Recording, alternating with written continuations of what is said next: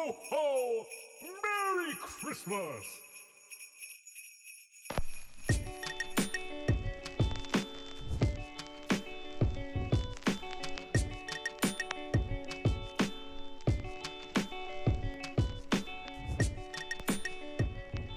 Hello, everyone, and welcome to the Malthaus Games Podcast, episode number 107. My name is Delton. I'll be your host today, and as usual, with me is my lovely wife and yellow player, Haley. and we are simply having a wonderful Christmas time. It is December here in the Malthaus Games household, which means Christmas time, holiday time for us. Uh, by the way, this is a podcast about board games, card games, role playing games, tabletop games, dice games, RPGs, things of that sort. And beer. and beer. Our first beer on this uh, start off to the December month is from Iron Monk Brewing up in Stillwater, Oklahoma. This is their chocolate habanero stout. It says, I have to find it and like turn it toward the light and then see if my glasses will help me out. When this beer started out as a taproom rotator, some people wouldn't even try it. Those that did fell in love with the combination of silky smooth, chocolatey deliciousness and the back of the throat habanero heat. We quick, quickly decided to make this spicy stout available much more often. But that wasn't good enough for these adventurous folks. They demanded that we make it our first seasonal release, and being the good people we are, we obliged. This one's for those first hardcore taproom patrons. You know who you are. It's pretty cool that they did that. It is a 12 ounce can at 8.1% alcohol by volume. And it is delicious. I've already had a couple of these when I was doing my Freddie Mercury knockoff puzzle. My uh, my sister, well, really my my five four year old niece, gave me a puzzle of it's it's not supposed to be Freddie Mercury, but it totally is. There's it's supposed no to be champion. there's no Queen licensing on it. There's no Freddie Mercury estate licensing on it. It doesn't even say Queen or Freddie Mercury on it. It's just a very a very cartoonish Freddie Mercury look-alike with the word champion across the stars. And this beer, I can tell you, pairs perfectly with sitting on your butt on the floor and doing a Freddie Mercury knockoff puzzle. Yes, this beer is literally black as night. You can't see through it. There's no light getting through this beer. It's very, very dark. Uh, holds a little bit of head. Has a very chocolatey smell. Very heavy smell. Very light, I would say, for a dark beer. It's light, it's sweet, and it has just a little tingle of pepper on the back of the tongue. It is a lot lighter than you expect it to be. It finishes fairly flat. But if you watch it, like watch it, Del. If you see it in the light, you see the bubbles popping up. It, it looks like a twinkling stars. It's really cool. There's little bitty baby bubbles, like it's just it's carbonated just so enough. dark. It's so dark, but it's just carbonated enough that there's just little bitty baby bubbles just making a pretty little night sky. Like what what's around knockoff Freddie Mercury. It's beautiful. It is surprisingly crisp. It is that chocolatey, that smooth, and it finishes, and then you just start to get a little heat at the back of your throat. Now, here's the thing I am not a spicy beer, spicy drink, or spicy sweets fan. I don't like Mexican hot chocolate. I don't like chili chocolate. I don't like anything like that. So, this beer to me is fine. If you like a spicy beer, this is a good beer but it's not it's not my wheelhouse of drinks. But I don't feel like this is novelty. Now we do have No. a brewery here in Edmond called the Battered Boar, and I love the Battered Boar. Uh, they have some really solid beers that are very drinkable, very good. But they do have one that is a Hatch Green chili beer that they only serve. I think it's five ounce pours is what they serve, and it is very spicy, very very spicy. That one is almost to the point of novelty because you're not. That's one you don't really drink to enjoy. Like I've drank it, I've had it. Probably not going to order it again unless I have some friends who are like, "Oh, I want to try that." But like, okay, well, I, I'll order it so you guys can try it. Well, to be fair, most of Battered Boar is pushing toward novelty. They they they go so strong with their flavors. All of their flavors to me are over the top, but that also makes them unique because they're also all done so well. They are. So I think that that's part of it, but I do understand what you're saying. But this one, like, you do have the little bit of habanero, but it is very drinkable. It's not like a, ooh, Yes. that's spicy. I'm going to give this as a gag gift. Like, no, this is a decent beer to sit and enjoy. And it pairs, pairs perfectly with a knockoff Freddie Mercury puzzle and a podcast. It is a very good beer if you like that style. I'm a stout fan, so It ticks those boxes. It's just that little bit of that spiciness to it that I'm not a huge fan of, but I'm going to obviously put up with it for my six ounces of the can. But yes, so welcome to the Malthaus Games podcast. That's the first beer of the episode. Uh, i- our last episode was the BGG one, I think. Yes, and it was right before it was right before my birthday. So I'm in a new decade, new me, y'all. Wait, are we 107 or are we? No, we are. We are 107. Episode 106 was BGG Con. I was like, wait, are we 108? Oh God, I can't keep up with our episode numbers at this point. Every time somebody asks me, I'm like, ah, I don't know. We're over 100, but we're less than 120. We're not to the teens. So yes, 107. Jeez, but yeah. So the last episode was BGG, and since then we've played several games in the house. We got to go play with our friends John and Laney, which we talked about on the BGG episode, and we of course had Haley's birthday. yes, I turned 30. And Delton is the sweetest of the Deltons. Hello. First of all, he took me out to a wonderful breakfast at Red Cup. Second of all, he took me to a Christmas market. Third of all, he spent a very fruitless three hours trying to dress drop with me. It was definitely fruitless. So it turns out I am the shape of SpongeBob SquarePants, living in a brat's girl world. Every dress store we went into, it doesn't matter if it was a junior section or an adult woman section, or if it was a boutique or a mall store. All of the dresses, if if I found one that fit me, because again, I am shaped like SpongeBob SquarePants, do with that information what you will in your imagination. But if I found a dress that fit me, all I had to do was shrug slightly, and you could probably see the bottom of my butt. So that was a no go, declined all the dresses. So got back home, put on a nice older dress, and Delty took me out to dinner on top of the Devon Tower. Yeah, down in Oklahoma City, we have the Devon Tower. It's an oil company, Devon Energy. They built the Devon Tower however many years ago now. It's the tallest building in Oklahoma. It goes up to 50 floors. It sticks out like a giant middle finger in Oklahoma because it is the tallest. Yeah. There's a few like tall buildings, but then you have the Devon Tower. It's just like, look at me. It towers over everything else. And uh, at the top, on the 49th and 50th floor, they have a restaurant called Vast. Uh, it's changed ownership several times throughout the years, but at its current state, it is, uh, as we found out, very good. And their vegan options are delicious. They're very accommodating, very good service, amazing view. Uh, you can go to our social media at Malthaus Games and see a picture I took of Haley and posted. You could see the, uh, I guess you could call it the skyline of Oklahoma City, but there's not much uh, height there. It's kind of just a big flat. Still cool though from the top of Vast.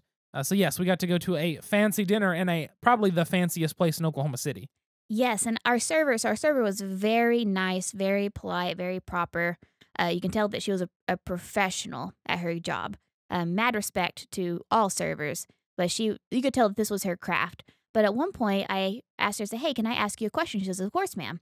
And she like puts her hands behind her back and like leans down toward me, and I said, "How many proposals do you guys get a year?" And I have never seen somebody eye roll with their entire face. It was ridiculous. Awesome. She was like, Oh, no, we get three or four a week. And then she pointed over to one of the male servers and she says, That guy over there, he's cursed. He's had two say no.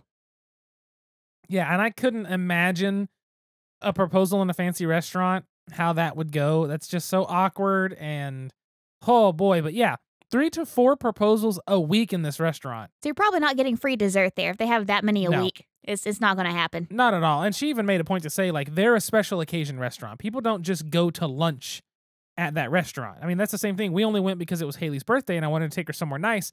And they had vegan options that actually sounded good. It wasn't just, you know, a tomato and a can of beans on a plate. It was something good and they take the time and it's a scratch kitchen. So most anything can be made vegan or they could prep just kind of whatever with their ingredients. So it was nice. But yes, so they get a lot of those proposals, which is just, that's crazy. Absolutely crazy. But Delton really treated me well for my birthday. He got me mushroom grow kit. Uh, he got me a Willie Nelson t-shirt. Books. He got me cookbooks. He got me books. Like he did so much for me. So Delty, thank you so much for my 30th birthday. You're welcome. And uh, new decade, new me. Decade's been great so far. About six. Uh, I guess we're more. I guess we're like what, 12 days in at this point. 12 days of Christmas. It's great. Wait. 12 days is my birthday of my 30s. Yep. But yeah, so since then, you know, we had my birthday. We got back to the old grind of working an actual full work week for the first time in three weeks. And like Dalton said, last night we went to John and Laney's. Yeah, we got to play some fun games because we talked about playing with John at BGGCon when he sat with us and played Horrified American Monsters version. But we had planned a day from BGGCon. We said, hey, let's get together. You know, we live in the same city. Why have we not played games before? And we went to their house, got to see their beautiful home. Lainey cooked us an amazing dinner. Oh my God, the curry was delightful. It was really, really good. Uh, and I always like it's one of those things where it's just so kind of someone to go out of their way to prepare a portion of the dinner or all the dinner, whatever, vegan because it's extra steps, it's extra care, it's extra caution, it's extra ingredients. So I really appreciated that.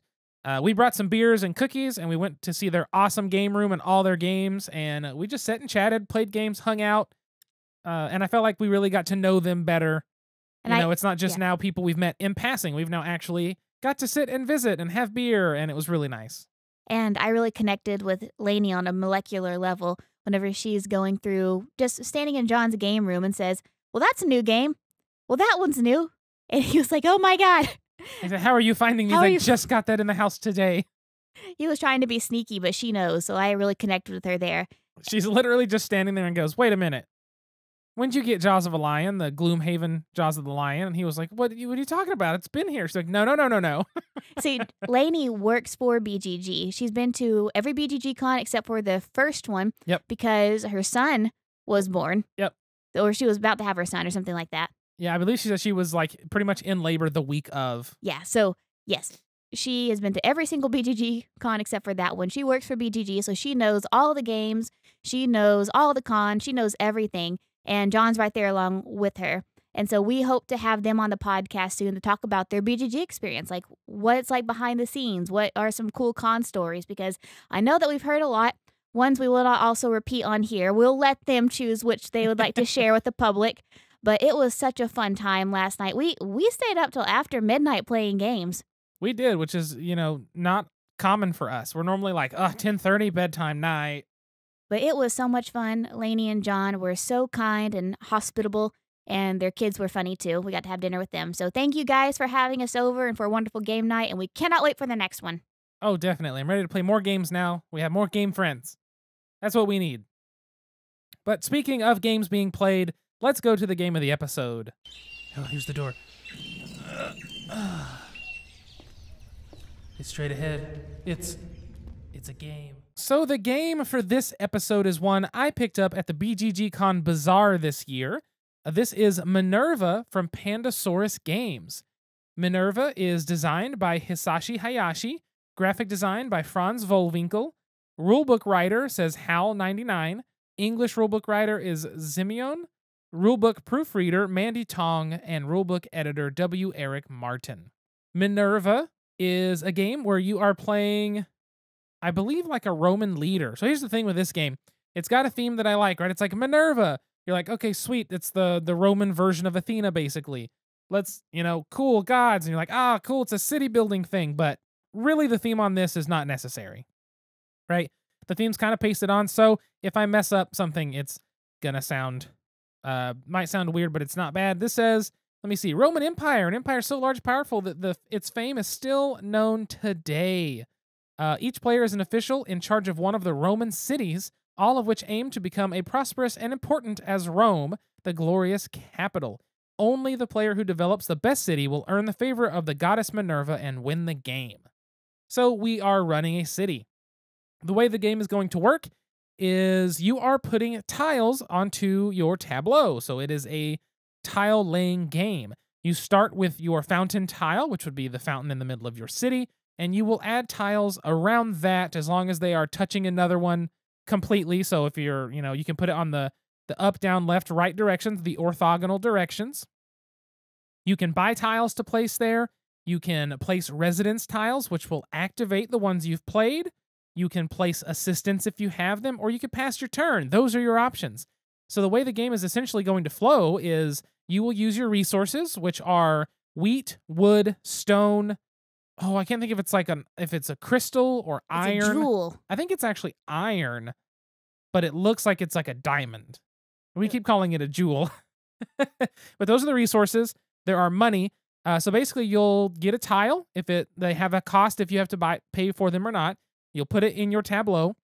If you pay it, you pay it with resources, or you can pay three coins for a single resource. Uh, you know, to make sure you can do that. If you need money, you can always trade a single resource in for one money, which is awesome. But you'll place them down in your tableau. Then, when you need to collect more resources, you can take one of your residence buildings and place it anywhere in your city, and then activate all of the tiles in a straight line in one direction. So, for example, let's say you have so far, it's the beginning of the game, and you've taken your first starting tile, your fountain, you've played two tiles to the right of it. One of them gives you the wheat icon, wheat resource, one of them gives you wood. You want to activate those to get something.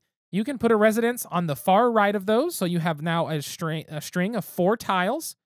On the far right's the residence. You will then activate every tile in a direction of your choice. In that case, you would say left of that residence. You would then gain the resources on the tiles to the left of the residence until you hit the end of your city or another residence tile. But is that how we played it the first time, Delton? No, not at all. I totally missed a rule, and Haley trounced me. Well, here's the thing. In my defense, I asked twice if this is how the game was played, and he said yes, and so I milked the shit out of it. Well, uh, you did. I also kept looking for the rule and couldn't find it, couldn't find it, couldn't figure out what was going on. And So- then I finally found it toward the end of the game, and I was like, oh, okay. So basically, how the game is supposed to be played is you have your resources all in a line, either in the orthogonal directions. And if you're wanting to activate a line, you, you put a building there. And so basically, if you have buildings capped on each end, like you can't activate those resources anymore in Correct. that line.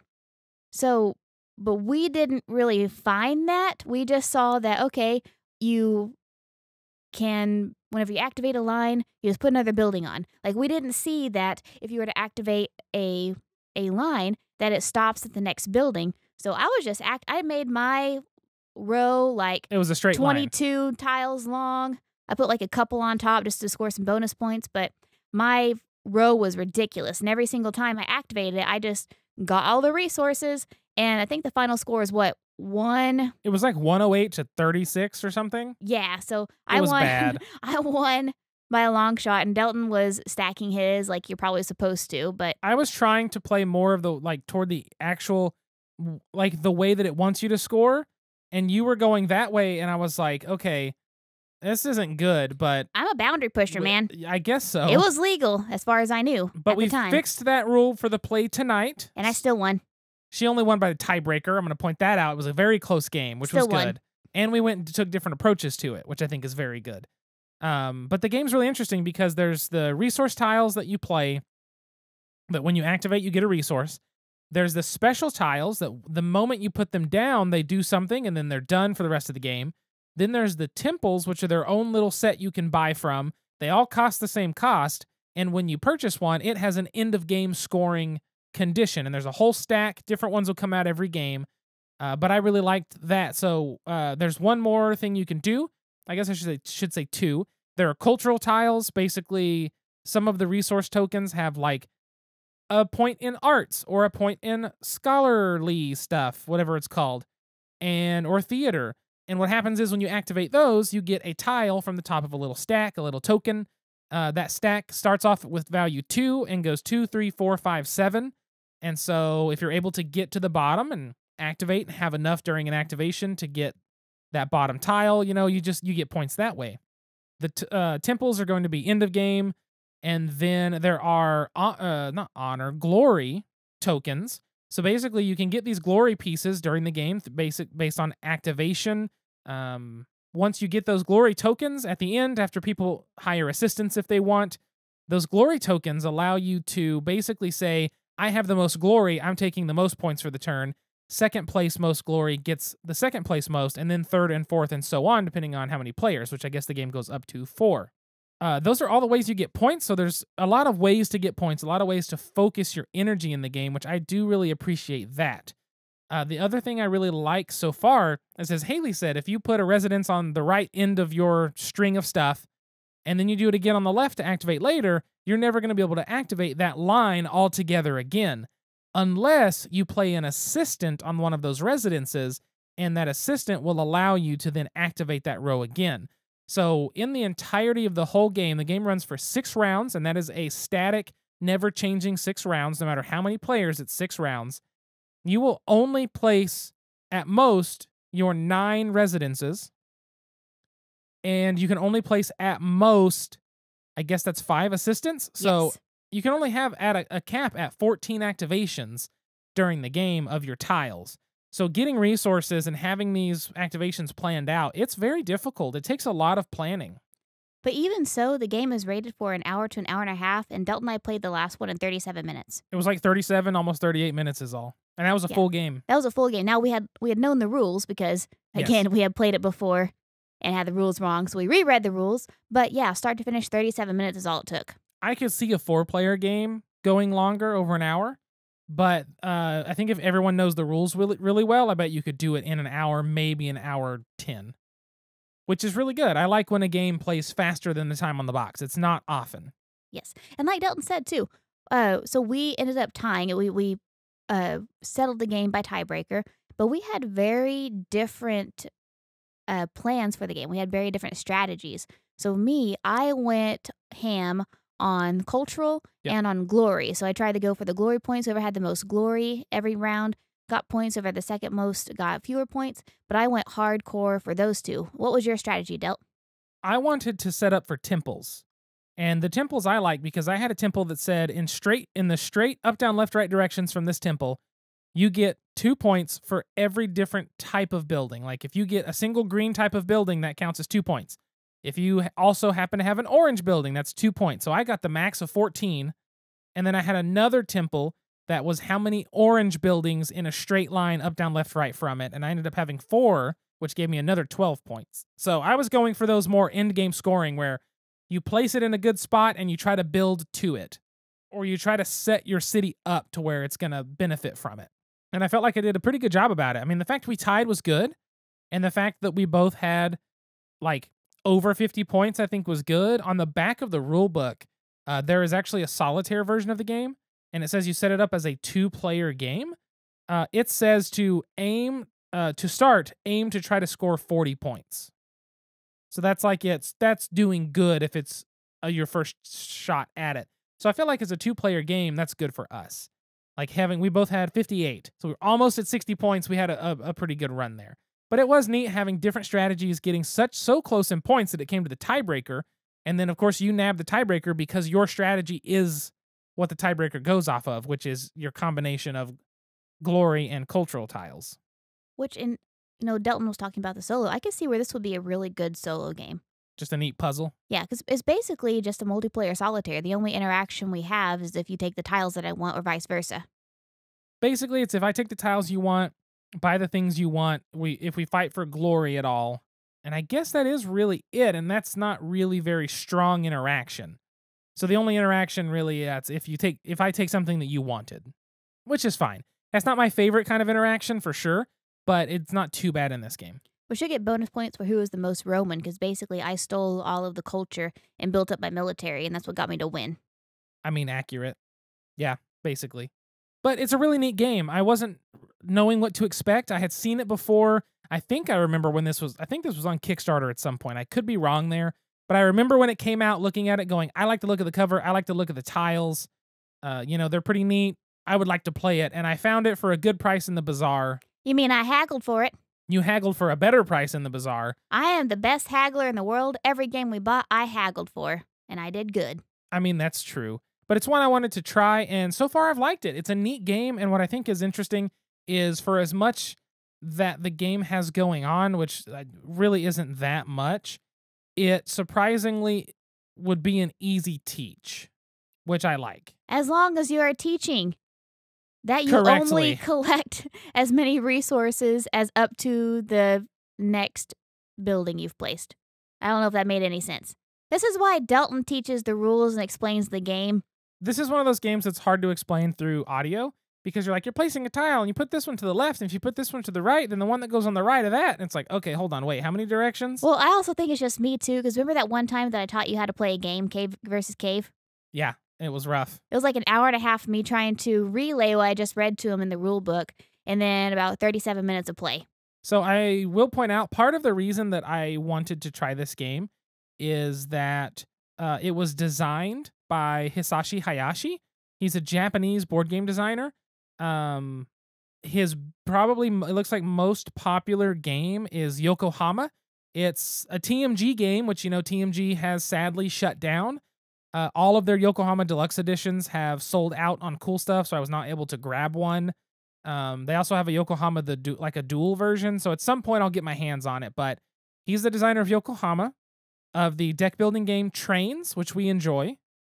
He also designed Metro X, a roll and write that I really like, along with like 58, 59 other different games that a lot of them I don't know. Goat and Goat looks adorable. He designed Isaribi. It's a fishing game from 2014 I've always wanted to play.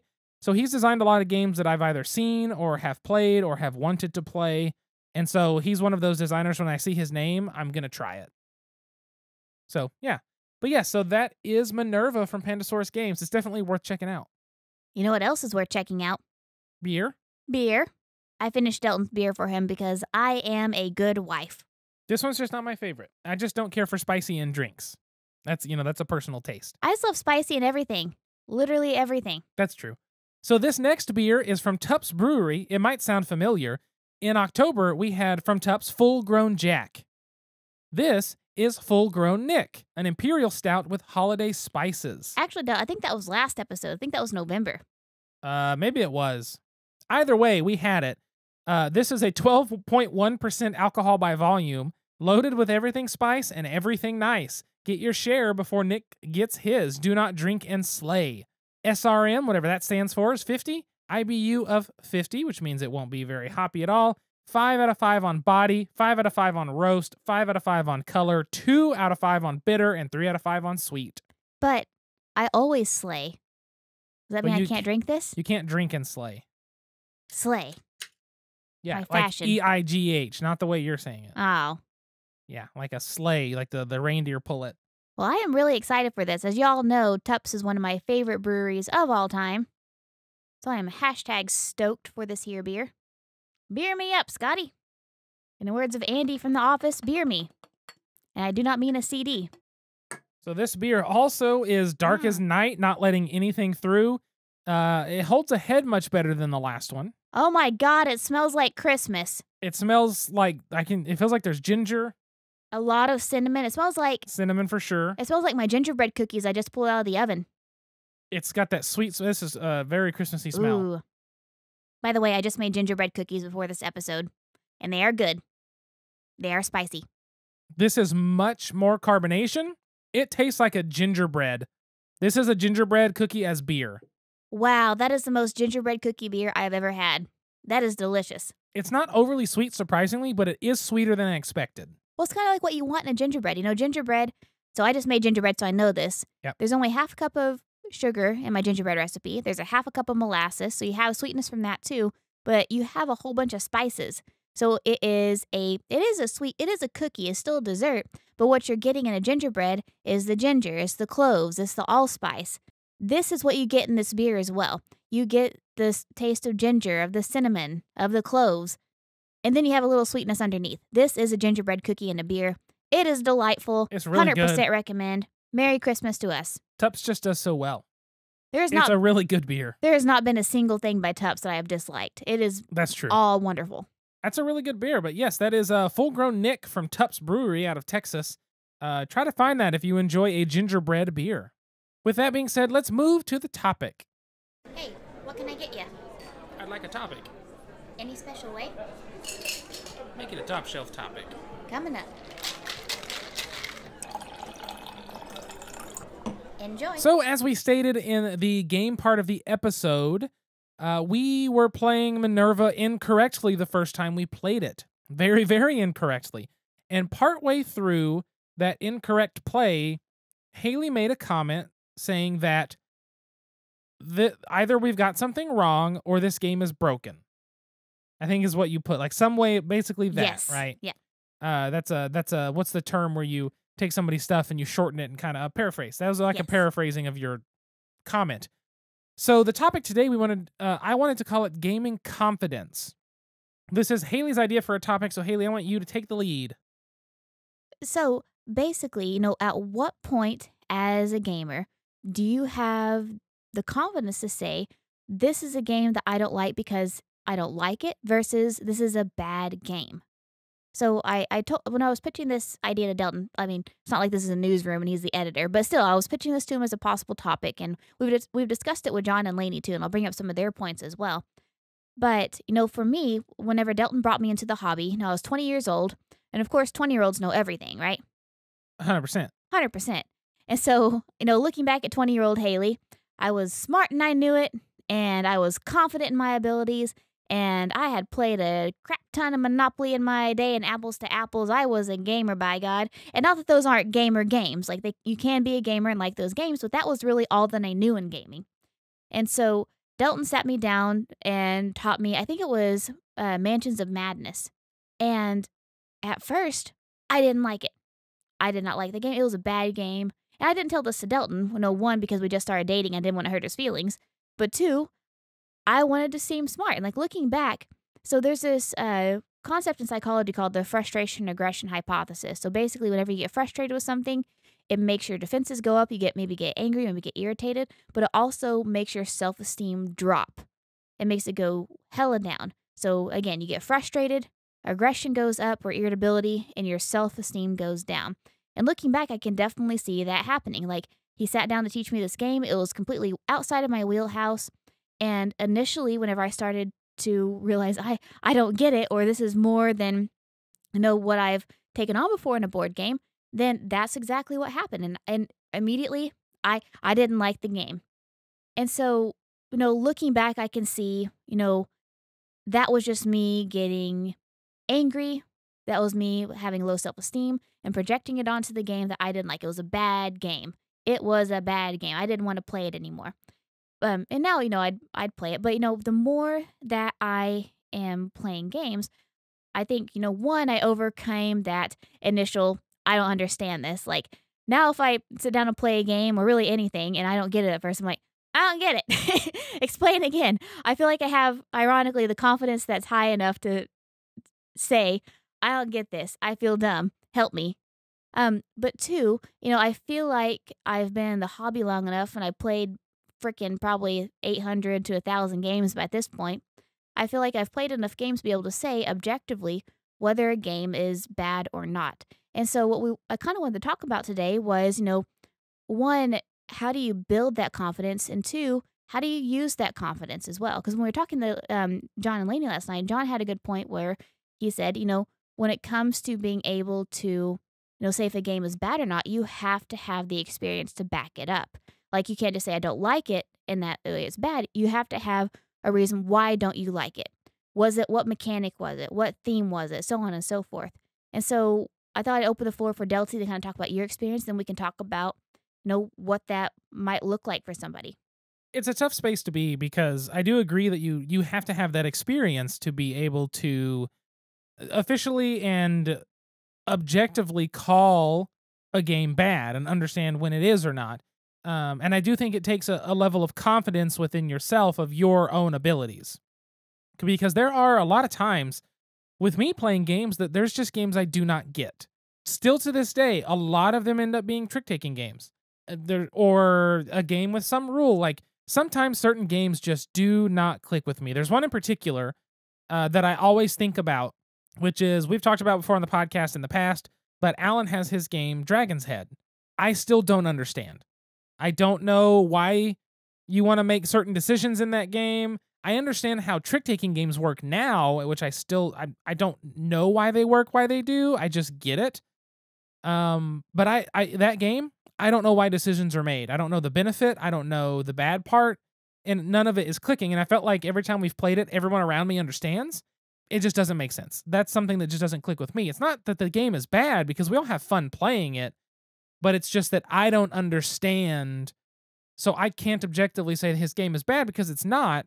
I think that I can rec- I can notice this is good. I'm just not getting it, right?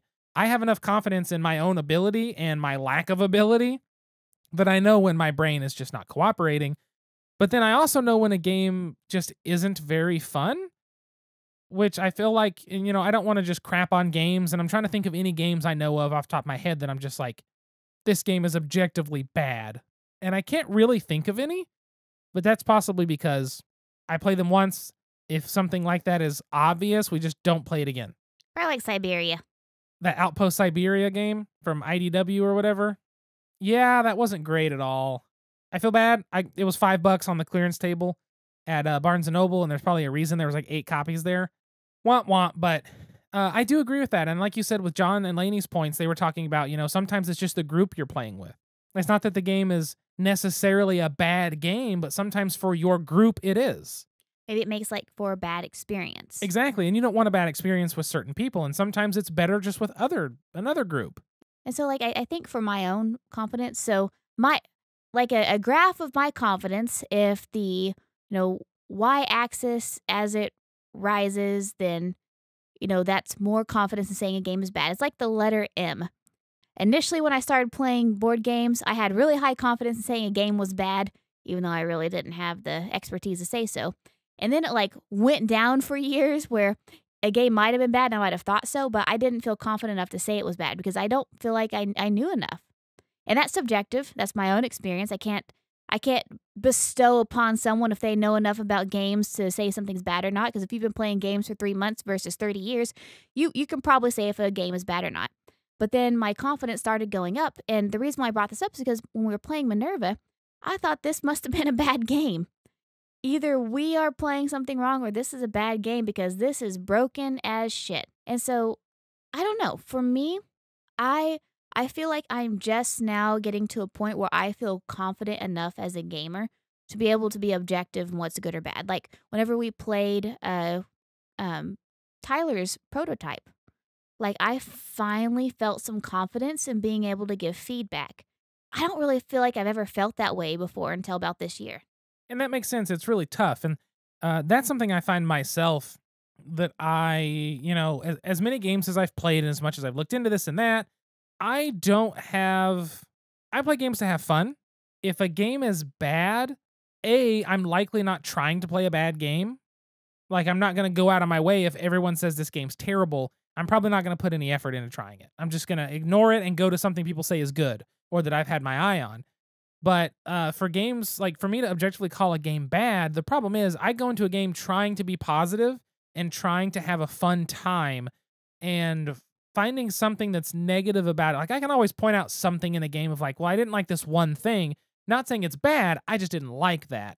But to say a game is truly bad is when you, to me, you have to discover something is broken, right? And I, I find with myself, I have a hard time pinpointing those things that like this doesn't work at all. This needs to be reworked uh, on a specific type, you know, and on a, the, I guess you'd call it a micro or macro. I don't know which level. Micro level, very small. I know, but my macro photography takes pictures of small things, so I don't know how those words work. Anyway, if it's a very specific instance, like, well, I don't like these because of this, there's very few times that I have issues with that.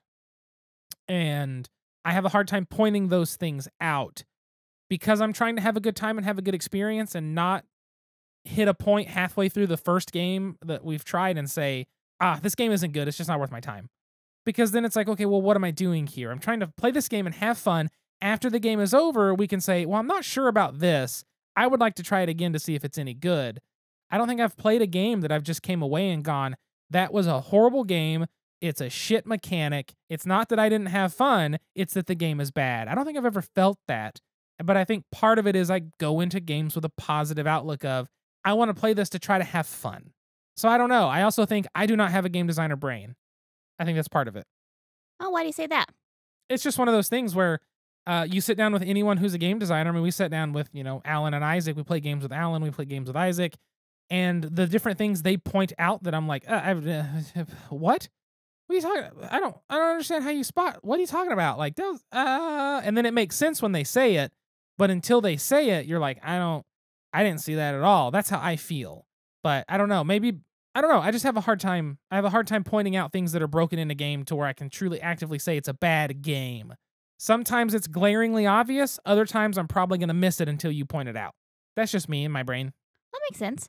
Well, I think we should kind of like tie up this topic with like a nice bow and talk about, you know, what are, if you do feel like a game is bad, like how do you how do you one separate that from your feelings and two you know apply that to different situations because there's different definitions of bad And so, you know, I think for me and like separating it from my feelings is um kind of what John said.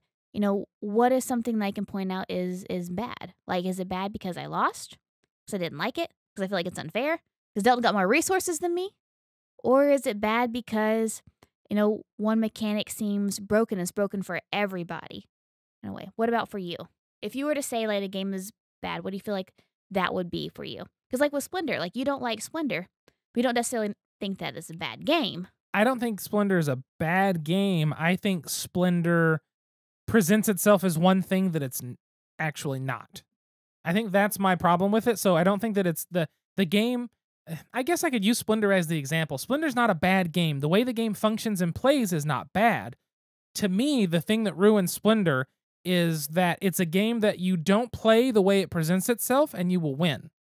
If you try to get the royals at the top of the board, you're never going to win that game against someone who knows to just buy cards with point values. That's it. I've never seen a person who's gone for the royals win. And I've probably played it four or five times, maybe six times. And I know that that's a very small number. And I'm sure someone out there is like, I can do it every time getting at least one royal. Good for you. I've You- never got a royal and I've been undefeated in that game. Yes, every time Haley's played the game, she's never got a royal and she's won.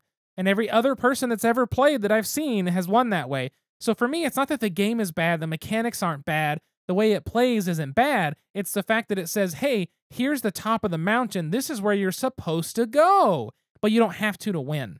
And I think that's the thing that discourages me. And honestly, this makes me think of, uh, this makes me tie in a little and think of, uh, that was Alan's thing, uh, his dislike when we played the Dale of Merchants like collector's box game. We weren't able to play the actual core set, but his thing that he didn't like was the game had all the cards in the sets had different abilities on them. He never once used a single ability and was still able to keep up and contend with everyone else. So the game presented itself as look at all these abilities you can do and all this interaction and all this stuff, but in the end that didn't matter. We were all one turn away from winning when you won. And I can see his point on that, but that's also one of those styles of games being a deck builder where it's like I like that a game can and you can and you can also not use the abilities and still function and play the game. The abilities can be used in a way that can benefit you faster or get to that score more quickly. It just depends.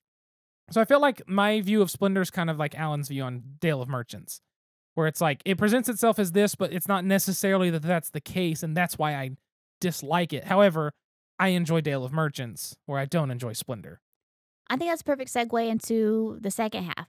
You know, being able to confidently say, this game is bad, or I don't like this game, or I don't get this game.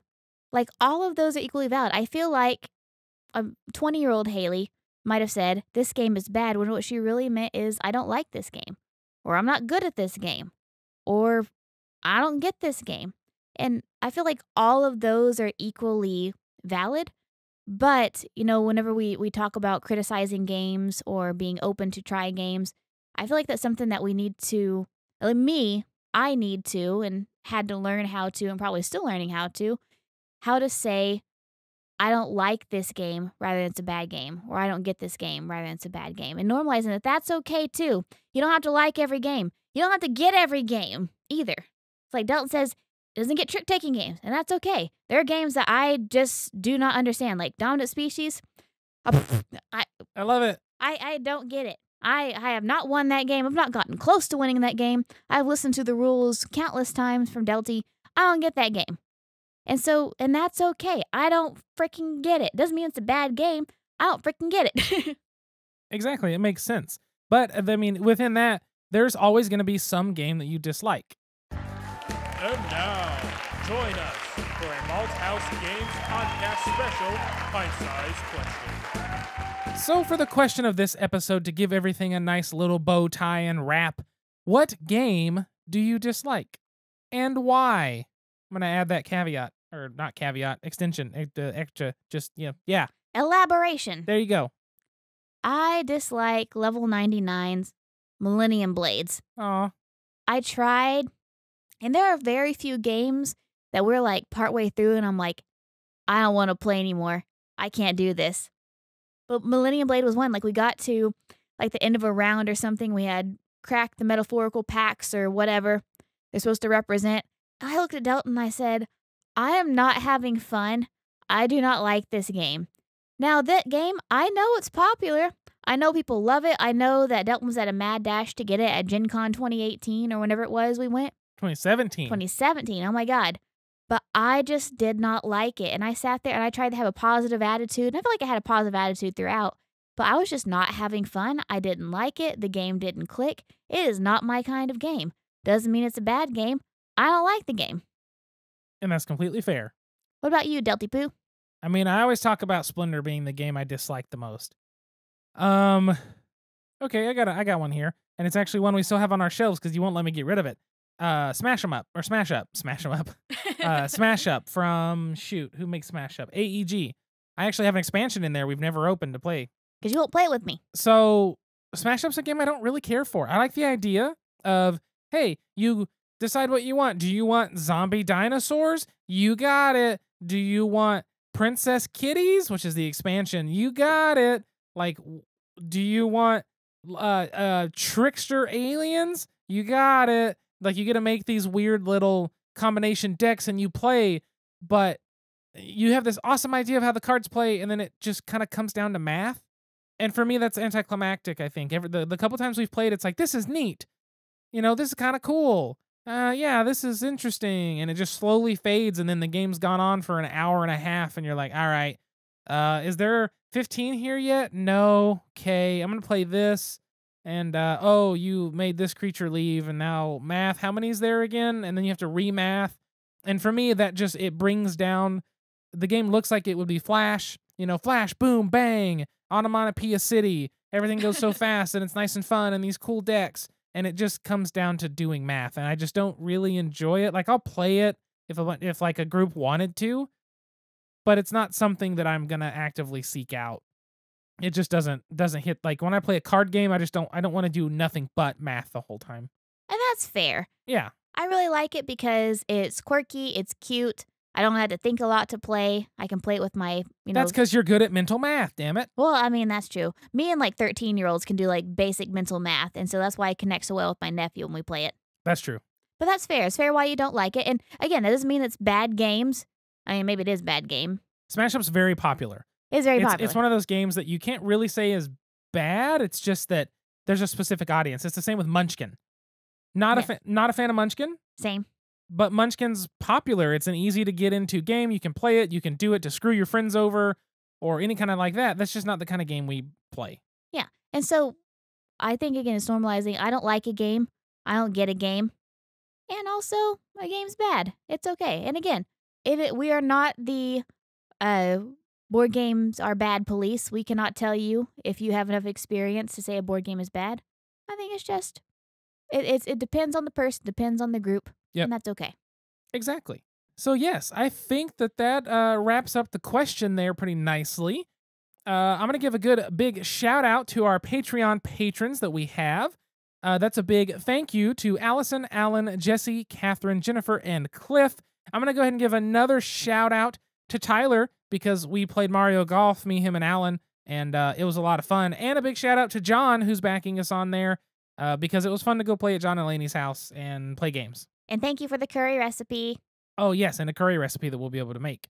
Uh, yeah, so make sure to follow us on social media at Malthaus Games, M A L T H A U S Games. You can send an email to contact at malthausgames.com, and that's for if you have any games you think we need to take a look at, any topics you want us to cover, a question you want us to answer on the show, or if there's a beer that you like and we can get, tell us, and we will go find it and we'll talk about it on an episode.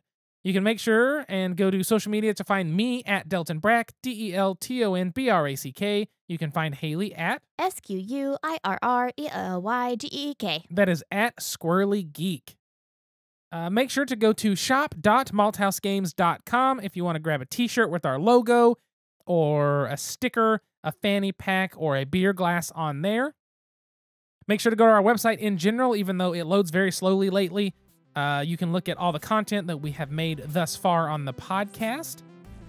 I think that that is going to wrap this episode up. So thank you again for tuning in and listening to the Malthaus Games podcast, episode number 107. Until next time, sit back, relax, grab a drink, and play some games. We'll see you folks later. Goodbye. Bye.